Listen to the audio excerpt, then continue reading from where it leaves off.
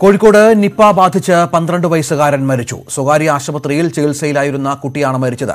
Pune virology ഇൻസ്റ്റിറ്റ്യൂട്ടിൽ നിന്നുള്ള മൂന്ന് സാമ്പിളുകളും പോസിറ്റീവാണെന്ന് ആരോഗ്യമന്ത്രി വീണ ജോർജ് പറഞ്ഞു. ഇപ്പോൾ മുഹമ്മദ് റിയാസ് മന്ത്രി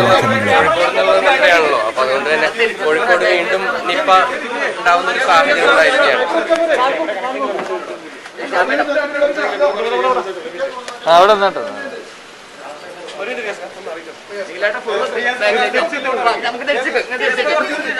അല്ല ആരോഗ്യമന്ത്രി പറഞ്ഞില്ല അതുപോലെ പറഞ്ഞില്ലല്ലോ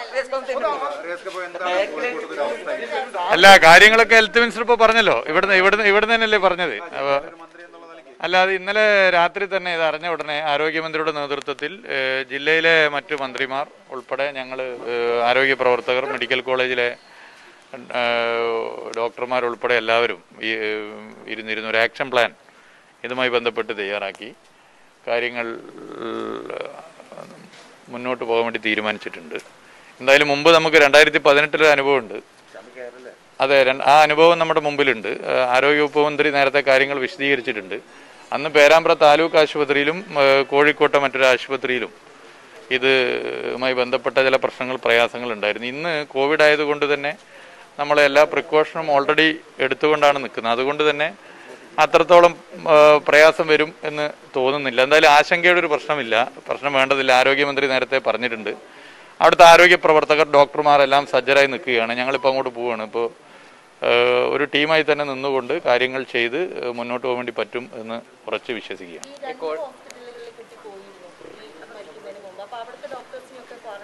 അല്ല എല്ലാ കാര്യങ്ങളും ഇന്നലെ ആരോഗ്യമന്ത്രിയുടെ നേതൃത്വത്തിൽ ഞങ്ങൾ ഇരുന്ന രാത്രി ഇരുന്ന മീറ്റിങ്ങിൽ മീറ്റിംഗിൽ കാര്യങ്ങൾ പ്ലാൻ ചെയ്തിട്ടുണ്ട്. എല്ലാ കാര്യങ്ങളും ട്രേസിങ് അതുപോലെ തന്നെ മറ്റെല്ലാ കാര്യങ്ങളും പിന്നെ അവിടെ വേണ്ട മറ്റ് സജ്ജീകരണങ്ങളൊക്കെ തന്നെ പ്ലാൻ ചെയ്തിട്ടുണ്ട്. ഹെൽത്ത് മിനിസ്റ്റർ നേതൃത്വത്തിൽ കാര്യങ്ങൾ പ്ലാൻ ചെയ്തിട്ടുണ്ട്. ഹെൽത്ത് മിനിസ്റ്റർ നേരത്തെ നിങ്ങളോട് പറഞ്ഞിട്ടുണ്ട് എന്നാണ് ഞാൻ മനസ്സിലാക്കുന്നത്. കഴിഞ്ഞ രണ്ട് തവണയും കോഴിക്കോട് തന്നെയാണ് ഇനിയിപ്പോൾ സ്ഥിരീകരിച്ചത്. അപ്പോൾ ആ ആ പ്രദേശത്ത് കൃത്യമായ എന്തെങ്കിലും രീതിക്കുള്ള ഒരു തയ്യാറെടുപ്പുകൾ അല്ലെങ്കിൽ തയ്യാറെടുപ്പല്ല നിരീക്ഷണമോ അങ്ങനെയുള്ള കാര്യങ്ങൾ എന്തെങ്കിലും ഇനി ഭാവിയിൽ ആവശ്യമാണോ ഈ ഒരു സാഹചര്യം? അല്ല ഇന്ന് ഇന്ന് ഇന്നലത്തെ മീറ്റിംഗിൽ തന്നെ ഏറെക്കുറെ ജില്ലാ കളക്ടർ ഉണ്ടായിരുന്നു എല്ലാവരും ഉണ്ടായിരുന്നു ഹെൽത്ത് സെക്രട്ടറി ഉണ്ടായിരുന്നു. അപ്പോൾ ഇന്നലത്തെ മീറ്റിംഗിൽ തന്നെ ചില കാര്യങ്ങൾ ആലോചിച്ചിട്ടുണ്ട്. ബാക്കി ഇപ്പോൾ ഹെൽത്ത് മിനിസ്റ്റർ ഞാനും അവിടെ എത്തി. അവിടെ ബാക്കിയുള്ളവരും കൂടി മറ്റ് ആളുകളുമായി ഇരുന്ന് ആലോചിച്ച് കാര്യങ്ങൾ പ്ലാൻ ചെയ്യും. അല്ല അതൊക്കെ തന്നെ ഇന്നലത്തെ മീറ്റിങ്ങിൽ അതെല്ലാ കാര്യങ്ങളും ചർച്ച ചെയ്തിട്ടുണ്ട്. അതിന്റെ എല്ലാ കാര്യങ്ങളും സജ്ജീക ഒരു തരത്തിലുള്ള ആശങ്കയുടെയും പ്രശ്നം വരുന്നില്ല. അത് മാത്രമല്ല നമുക്ക് മുമ്പ് നേരിട്ട അനുഭവമുണ്ട്. അത് വെച്ചുകൊണ്ട് തന്നെ നമുക്ക് പോകാം പിന്നെ ഈ കോവിഡ് ആയതുകൊണ്ട് തന്നെ നമ്മളൊക്കെ തന്നെ എല്ലാ പ്രിക്കോഷനിലാണ് ആശുപത്രികൾ നിൽക്കുന്നത്. നേരത്തെ പേരാമ്പ്ര താലൂക്ക് ആശുപത്രി രണ്ടായിരത്തി പതിനെട്ടിൽ ഉണ്ടായതുപോലെ ഇപ്പോൾ നമ്മൾ ഓൾറെഡി പ്രിക്കോഷനിലാണ് നിൽക്കുന്നത്. അതിന്റെ ഒരു പ്രശ്നവും ഉണ്ട്. അതുകൊണ്ട് തന്നെ നമുക്ക് ആശങ്കയുടെ ഒരു പ്രശ്നം വരുന്നില്ല എന്നുള്ളതൊരു യാഥാർത്ഥ്യമാണ്. Okay thank you Muhammad Riyas ആണ് പ്രതികരിച്ചത്. ഏതായാലും മന്ത്രിമാർ അങ്ങോട്ടേക്ക് തിരിക്കുകയാണ്. ആരോഗ്യമന്ത്രി അടക്കം കോഴിക്കോട്ടേക്ക് തിരിച്ചിട്ടുണ്ട്. അല്പം മുമ്പ് ആരോഗ്യമന്ത്രി മാധ്യമങ്ങളോട് സംസാരിച്ചിരുന്നു. വാക്കുകളിലേക്ക്. ഈ വിവരം അറിയുമ്പോൾ തന്നെ വളരെ അതീവ ഗുരുതരാവസ്ഥയിലായിരുന്നു. പ്രഷറെല്ലാം വളരെ ഡൗൺ ആയിരുന്നു ആ അവസ്ഥയിലാണ് ആ, കുട്ടി ഉണ്ടായിരുന്നത്. ഇപ്പോൾ ഇന്നലെ എടുത്ത യോഗത്തിലെ ആക്ഷൻ പ്ലാനിന്റെ അടിസ്ഥാനത്തിൽ ആദ്യം പ്രാഥമികമായി ചെയ്യാനുള്ളതും വളരെ കൃത്യമായി രാത്രി തന്നെ ടീമുകൾ ഫോം ചെയ്തിട്ടുണ്ട്. അതുപോലെ നമ്മൾ ട്രേസിംഗ് നടത്തുന്നുണ്ട്. പ്രാഥമികമായിട്ടുള്ള എല്ലാ കോൺടാക്റ്റുകളെയും ഐഡന്റിഫൈ ചെയ്തിട്ടുണ്ട്. ആശങ്കപ്പെടേണ്ട സാഹചര്യം ഇല്ല. പ്രൈമറി കോണ്ടാക്റ്റ് ഉള്ള ആളുകളെ എല്ലാം തന്നെ ഐസൊലേഷനിലേക്ക് മാറ്റുന്നതിന് വേണ്ടിയിട്ടുള്ള ക്രമീകരണങ്ങൾ ചെയ്തിട്ടുണ്ട്. അതുകൂടാതെ കോഴിക്കോട് മെഡിക്കൽ കോളേജിൽ ഉൾപ്പെടെ മറ്റ് ചികിത്സാ ക്രമീകരണങ്ങൾ ഒരുക്കുന്നതിന്റെയൊക്കെ ആലോചനകൾ നടത്തിയിട്ടുണ്ട്. ഇന്നിപ്പോൾ ഞാൻ കോഴിക്കോട്ടേക്ക് പോവുകയാണ്. മിനിസ്റ്റേഴ്സ് ഉൾപ്പെടെ റിയാസ് മിനിസ്റ്ററും തിരുവനന്തപുരത്തും തിരിച്ചിട്ടുണ്ട്. അവിടെ യോഗം ചേർന്നതിന് ശേഷം ബാക്കി കാര്യങ്ങൾ സംസാരിക്കും. ഇതുവരെ ഇല്ല. മറ്റ് ക്ലോസ് കോണ്ടാക്ട്സിനൊന്നും ലക്ഷണങ്ങളൊന്നുമില്ല. അപ്പോൾ ബാക്കി ഫാമിലിയുടെ മറ്റ് കോണ്ടാക്ട്സ് ഈ കുഞ്ഞിന്റെ കോണ്ടാക്റ്റുകളൊക്കെ നമ്മൾ ട്രേസ് ഔട്ട് ചെയ്തിട്ടുണ്ട്. പക്ഷെ അങ്ങനെ ആശങ്കപ്പെടേണ്ട ഒരു സാഹചര്യം നിലവിലില്ല. പക്ഷെ വളരെ സൂക്ഷ്മമായി തന്നെ ആരോഗ്യവകുപ്പ് ഇത് ഫോളോ അപ്പ് ചെയ്യുന്നുണ്ട്. സ്പെഷ്യൽ ഓഫീസേഴ്സിനെ പോസ്റ്റ് ചെയ്തിട്ടുണ്ട്. സ്പെഷ്യൽ ടീം അവിടെ ഉണ്ട്. അതുകൂടാതെ നമുക്ക് രാത്രി തന്നെ നമ്മൾ ഈ ഈ പ്രവർത്തനങ്ങളെല്ലാം പൂർത്തിയാക്കി. അപ്പോൾ ഹോസ്പിറ്റലുകളിൽ ഉൾപ്പെടെയുള്ള കോണ്ടാക്ട്സുകൾ അതുപോലെ ഈ കുഞ്ഞിനും കൂട്ടുകാർ ആ ലൊക്കാലിറ്റിയിലെ കസിൻസൊപ്പം കളിക്കുമായിരുന്നു എന്ന് പറഞ്ഞിട്ടുണ്ട്. അപ്പോൾ അങ്ങനെയുള്ള എല്ലാ കോണ്ടാക്റ്റുകളും ഇതിനോടകം ഇത്രയും മണിക്കൂറിനുള്ളിൽ നമ്മൾ ഐഡന്റിഫൈ ചെയ്തിട്ടുണ്ട്. ബാക്കി എല്ലാ ക്രമീകരണങ്ങളും വളരെ ശ്രദ്ധയോടുകൂടി തന്നെ ചെയ്യുന്നുണ്ട്. അല്ലാതെ നമുക്ക് കണ്ടെത്തേണ്ടതായിട്ടുണ്ട്. അപ്പോൾ അത് ഏത് രീതിയിലാണ് എന്നുള്ളത് ആ വീടിരിക്കുന്ന സ്ഥലം മറ്റ് സാഹചര്യങ്ങൾ കുഞ്ഞ് ഇടപെടുന്ന ആളുകൾ ആ രീതിയിലുള്ള എല്ലാ കാര്യങ്ങളും കണ്ടെത്തുന്നുണ്ട്. പ്രത്യേകമായി പറയാനുള്ളത് ആശങ്കപ്പെടേണ്ട സാഹചര്യം ഇല്ല. വളരെ കൃത്യമായി തന്നെ വളരെ അതീവ ജാഗ്രതയോട് കൂടിയിട്ടുള്ള പ്രവർത്തനങ്ങൾ ശക്തമായിട്ടുള്ള പ്രവർത്തനങ്ങൾ തന്നെ ആരോഗ്യവകുപ്പ് എടുത്തിട്ടുണ്ട്. ഇന്നലെ രാത്രിയിൽ തന്നെ ഇതിനു വേണ്ടിയിട്ടുള്ള എല്ലാ പ്രവർത്തനങ്ങളും നമ്മൾ എടുത്തിട്ടുണ്ട്. അതുപോലെ കണ്ണൂർ മലപ്പുറം ജില്ലകൾ കൂടി ഈ ഒരു അവസരത്തിൽ പ്രത്യേകമായിട്ടുള്ള ഒരു ശ്രദ്ധ പുലർത്തണം എന്നുള്ളതാണ് ഈ അവസരത്തിൽ പറയാനുള്ളത്. കോഴിക്കോട് ജില്ലയ്ക്കൊപ്പം തന്നെ. ബാക്കി കാര്യങ്ങൾ അവിടുത്തെ സമഗ്രമായ മീറ്റിംഗിന് ശേഷം പറയുന്നത് ആരോഗ്യമന്ത്രി മാധ്യമങ്ങളെ കണ്ടു. മുഹമ്മദ് റിയാസ് ജില്ലയിലെ മന്ത്രിയും മാധ്യമങ്ങളെ കണ്ടു. ജാഗ്രതയുണ്ട്.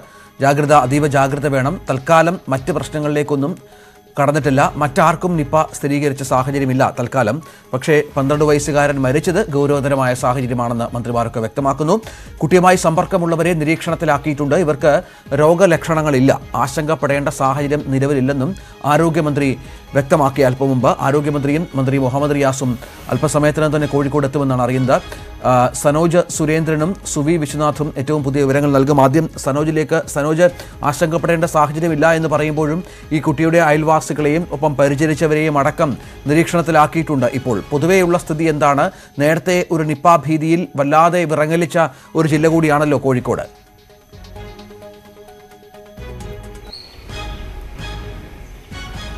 രഞ്ജിത്ത് ആശങ്കപ്പെടേണ്ട സാഹചര്യമില്ല എന്ന് ആരോഗ്യമന്ത്രി പറയുമ്പോഴും അതീവ ജാഗ്രതയോടുകൂടി തന്നെയാണ് കാര്യങ്ങൾ ആരോഗ്യവകുപ്പ് നോക്കിക്കാണുന്നത്. ഇതിന്റെ അടിസ്ഥാനത്തിൽ ഈ കോഴിക്കോട് ചാത്തമംഗലം ചൂലൂർ സ്വദേശിയായ പന്ത്രണ്ട് വയസ്സുകാരനാണ് ഈ നിപ്പ വൈറസ് ബാധ സ്ഥിരീകരിച്ചിട്ടുള്ളത്.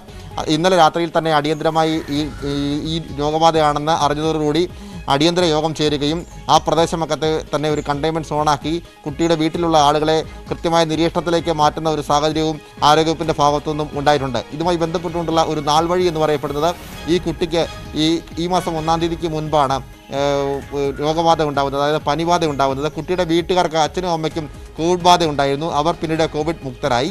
ഇതിനുശേഷം കുട്ടിക്കും കോവിഡ് സ്ഥിരീകരിക്കുന്നു. എന്നാൽ കുട്ടിയുടെ പനി വിട്ടുമാറാത്ത വന്നതോടുകൂടി കുട്ടിയെ വീട്ടുകാർ ആദ്യം കോഴിക്കോട് ഓമശ്ശേരിയിലെ ശാന്തി ആശുപത്രിയിൽ പ്രവേശിപ്പിച്ചു.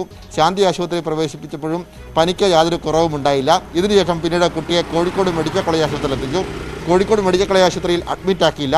അവിടെ തുടർന്നു കുറച്ചു നേരം തുടർന്നു. എങ്കിലും കുട്ടിയുടെ പനി കൂടുതലായതിനെ തുടർന്ന് കുട്ടിയുടെ ശാരീരിക അവസ്ഥ കൂടുതൽ അപകടാവസ്ഥയിലായതിനെ തുടർന്ന് കുട്ടിയെ കോഴിക്കോട്ടെ മിംസ് ആശുപത്രിയിലേക്ക് മാറ്റി.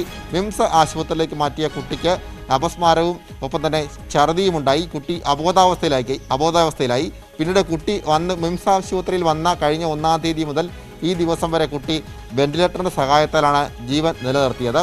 ഇതിന് തുടർന്ന് കുട്ടിയുടെ അവസ്ഥ കൂടുതൽ മോശമാവുകയും കുട്ടിയുടെ രോഗലക്ഷണങ്ങൾ നിപ്പ ബാധയെ എന്ന് സംശയിക്കുന്ന തരത്തിലായതിനെ തുടർന്ന് കുട്ടിയെ ചികിത്സിച്ച ഡോക്ടർ കുട്ടിയുടെ സ്രവ സാമ്പിളുകൾ പരിശോധനയ്ക്ക് ആലപ്പുഴ വൈറോളജി ഇൻസ്റ്റിറ്റ്യൂട്ടിലേക്ക് അയച്ചു. വൈറോളജി ഇൻസ്റ്റിറ്റ്യൂട്ടിലേക്ക് അയച്ച സ്രവ സാമ്പിൾ പരിശോധനയിൽ കുട്ടിക്ക് നിപ്പയാണെന്ന ഒരു സ്ഥിരീകരണമാണ് ഉണ്ടായത്. എന്നാൽ ഇത് സ്ഥിരീകരിച്ചുവെങ്കിലും ഈ കാര്യം ഔദ്യോഗികമായി പുറത്തുവിടാൻ ആരോഗ്യവകുപ്പ് തയ്യാറായില്ല. പിന്നീട് കുട്ടിയുടെ സാമ്പിളുകൾ മൂന്ന് പ്രാവശ്യമായി പരിശോധനയ്ക്ക് അയക്കുകയായിരുന്നു. പൂനെ വൈറോളജി ഇൻസ്റ്റിറ്റ്യൂട്ടിലേക്ക് പരിശോധനയ്ക്ക് അയച്ചു. ഇവിടെ നടത്തിയ രണ്ട് പരിശോധനാ ഫലങ്ങളിൽ ഏലും നിപ്പയാണെന്ന് സ്ഥിരീകരിക്കുകയായിരുന്നു.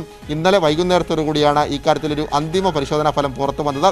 ഇതിനെ തുടർന്ന് അടിയന്തരമായി ആരോഗ്യവകുപ്പ് മന്ത്രിയുടെ നേതൃത്വത്തിൽ ജില്ലാ കളക്ടർ ഉൾപ്പെടെ വിദഗ്ധ വിദഗ്ധ സംഘത്തിന്റെ നേതൃത്വത്തിൽ ഒരു അടിയന്തര ആലോചനാ യോഗം ചേർന്നു. ഈ യോഗത്തിൽ ഈ രോഗം സ്ഥിരീകരിച്ചതിനെ തുടർന്ന് മന്ത്രി വീണ ജോർജിന്റെ നേതൃത്വത്തിൽ മന്ത്രിമാരുടെ നേതൃത്വത്തിലുള്ള ഉന്നതതല ആരോഗ്യ വിദഗ്ധ സംഘം കോഴിക്കോട്ടേക്ക് ഇന്ന് പുലർച്ചെ തന്നെ യാത്ര തിരിക്കുകയായിരുന്നു. ഈ യാത്രാ മധ്യയാണ് സംവിധാനങ്ങൾ സനോജ് ഈ ഇത്ര നിപ്പ സ്ഥിരീകരിച്ചു ഒരാൾക്ക് സ്ഥിരീകരിച്ചു ഒരാൾക്ക് മാത്രമേ സ്ഥിരീകരിച്ചിട്ടുള്ളൂ എങ്കിൽ പോലും കൂടുതൽ ജാഗ്രത വേണ്ടതാണ് കൂടുതൽ ക്രമീകരണങ്ങൾ ഏർപ്പെടുത്തണം രോഗം പടരാതിരിക്കുക മറ്റുള്ളവർക്ക് രോഗം ബാധിച്ചോ എന്ന് മനസ്സിലാക്കുക അങ്ങനെ ഒരുപാട് കാര്യങ്ങളുണ്ട്. അതിനുള്ള തയ്യാറെടുപ്പുകൾ ഇതുവരെ നടപടിക്രമങ്ങൾ ഏത് തലത്തിലെത്തിയിട്ടുണ്ട്?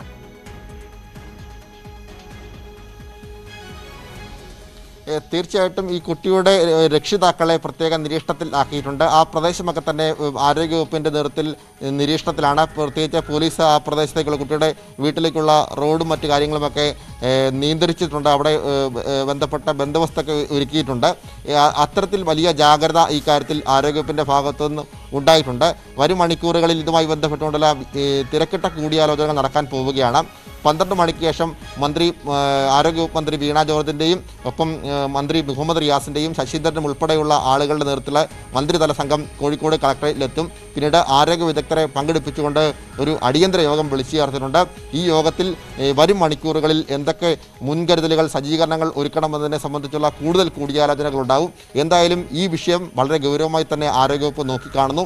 ഇതിന്റെ അടിസ്ഥാനത്തിൽ ഇന്നലെ സൂം മീറ്റ് ചേർന്നിരുന്നു. അതായത് രാത്രിയിൽ തന്നെ അടിയന്തരമായി യോഗം ചേരുകയും അടിയന്തരമായി തന്നെ യുദ്ധകാലാടിസ്ഥാനത്തിൽ മുൻകരുതലുകൾ എടുക്കുന്ന കാര്യത്തിൽ ആരോഗ്യവകുപ്പ് മുൻപോട്ട് പോവുകയായിരുന്നു. ഇതിനെ തുടർന്നാണ് ആ പ്രദേശത്തെ പ്രത്യേക നിരീക്ഷണം ഏർപ്പെടുത്തുകയും കുട്ടിയുടെ രക്ഷിതാക്കളെ പ്രത്യേക നിരീക്ഷണത്തിലേക്ക് മാറ്റി പാർപ്പിക്കുകയും ചെയ്യുന്ന ഒരു സാഹചര്യമുണ്ടായത് നിലവിൽ കുട്ടിയുടെ രോഗബാധ നിപ്പയാണെന്ന് സ്ഥിരീകരിച്ച പശ്ചാത്തലത്തിൽ ഇനി നടക്കാനുള്ളത് കുട്ടിയുടെ സംസ്കാര ചടങ്ങുകളാണ്. കുട്ടിയുടെ മൃതദേഹം ഇപ്പോഴുള്ളത് കോഴിക്കോട്ടെ മിംസ് ആശുപത്രിയിലാണ്.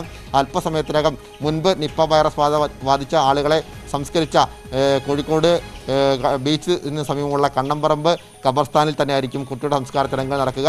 അതിനുവേണ്ടിയുള്ള ഒരുക്കങ്ങൾ കണ്ണമ്പറമ്പ് ശ്മശാനത്തിൽ ആരംഭിച്ചു വരാം. സുവി വിശ്വനാഥനുമുണ്ട്. സുബി മന്ത്രിമാർ പ്രതികരിച്ച് തൃശ്ശൂരിലാണ് ആരോഗ്യമന്ത്രി അടക്കം. ഏതായാലും കൂടുതൽ പ്രശ്നങ്ങൾ ഉണ്ടാവില്ല എന്നുള്ള ആത്മവിശ്വാസമുണ്ട് എങ്കിൽ പോലും ജാഗ്രത വേണം തയ്യാറെടുപ്പുകൾ വേണം.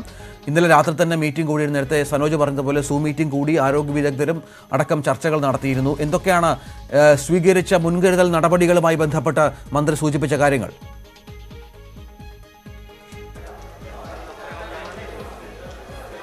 തിരിച്ചു വരാം ഒരു നിമിഷം. ഡോക്ടർ അനൂപ് ടെലിഫോൺ ലൈനിലുണ്ട്. ഡോക്ടർ അനൂപ് ഏതായാലും കോഴിക്കോട് ഒരു കേസ് കൂടി സ്ഥിരീകരിച്ച പശ്ചാത്തലമാണ്. എങ്ങനെയാണ് നമ്മൾ നോക്കിക്കാണേണ്ടത് ഇപ്പോഴത്തെ സ്ഥിതിവിശേഷത്തെ?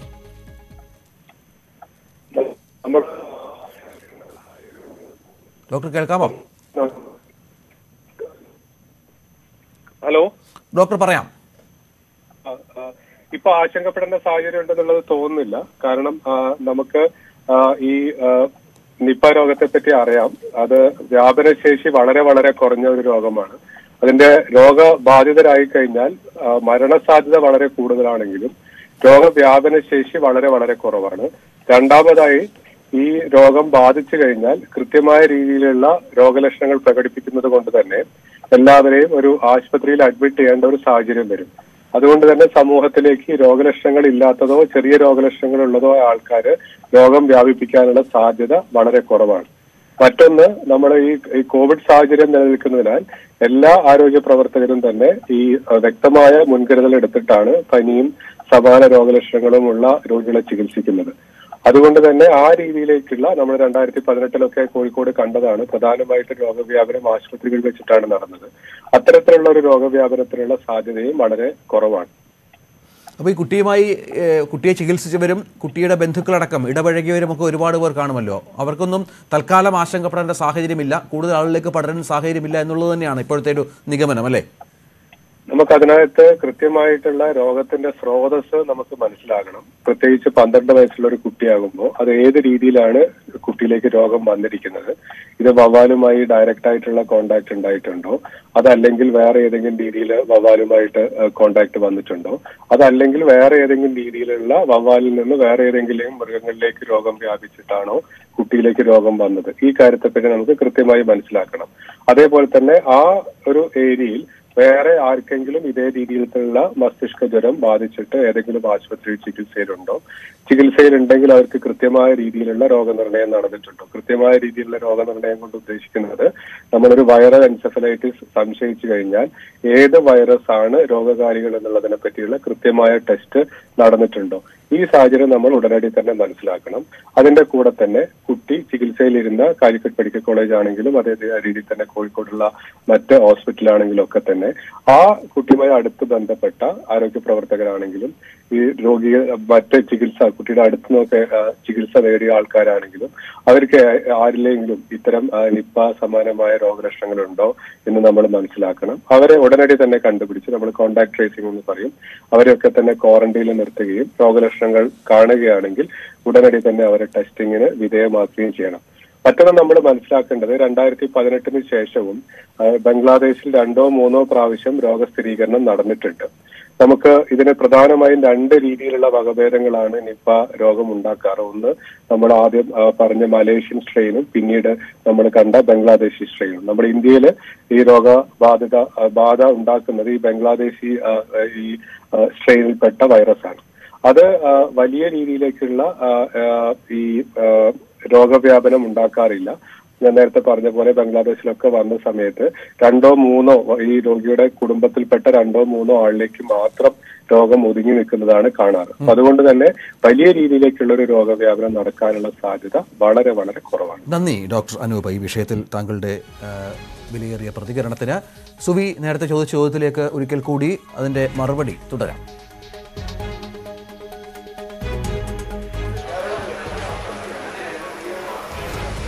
ഗോപി രഞ്ജിത്ത് അല്പം മുമ്പാണ് ആരോഗ്യമന്ത്രി വീണ ജോർജ് മാധ്യമങ്ങളെ കണ്ടത്. പ്രധാനമായും മന്ത്രി പറഞ്ഞത് ഈ കാര്യങ്ങളാണ്. പൂനെ എൻ ഐവിൽ നിന്ന് നിപ ഇന്നലെ രാത്രിയാണ് സ്ഥിരീകരിച്ചത്. നാല് ദിവസം മുമ്പാണ് കുട്ടിയെ കടുത്ത പനിയെ തുടർന്ന് ആശുപത്രിയിൽ എത്തിച്ചത്. രണ്ട് ആശുപത്രികളിലേക്ക് കൊണ്ടുപോയി എങ്കിലും കൃത്യമായ സുരക്ഷാ മാനദണ്ഡങ്ങൾ ആരോഗ്യ പ്രവർത്തകർ പാലിച്ചിരുന്നു. അതുകൊണ്ട് ഭയപ്പെടേണ്ട സാഹചര്യം ഇല്ല. കുട്ടിയുടെ ബന്ധുക്കൾ രക്ഷിതാക്കൾ ഉൾപ്പെടെയുള്ള ബന്ധുക്കൾക്ക് ആർക്കും തന്നെ നിലവിൽ രോഗലക്ഷണങ്ങൾ ഇല്ല. ഇവരെല്ലാം തന്നെ ക്വാറന്റൈനിലാണ്. ഭയപ്പെടേണ്ട സാഹചര്യം ഇല്ല എന്നാണ് മന്ത്രി പറയുന്നത്.